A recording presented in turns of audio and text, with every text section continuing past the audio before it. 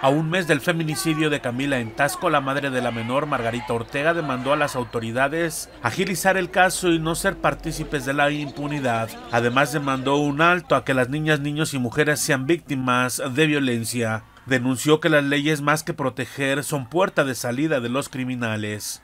Hoy acudimos a esta marcha juntos para hacer una sola voz.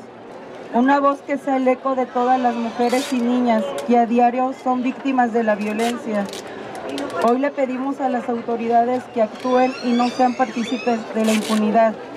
A todas aquellas que buscan aquellas, a todas aquellas que buscan representarnos les exigimos que en sus propuestas y acciones eviten que las niñas y las mujeres sean víctimas de violencia, porque también el no actuar es un delito.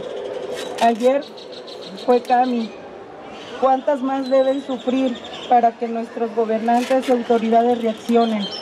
También les quiero dar las gracias a todas las personas que han estado en el proceso. Ya se los he dicho antes, muchas personas me escribieron, no vinieron por miedo, pero sé que están con nosotros. Exigió constantemente que se actúe para que su hija tenga justicia y que los involucrados reciban el castigo correspondiente. RTG Noticias, Raimundo Ruiz.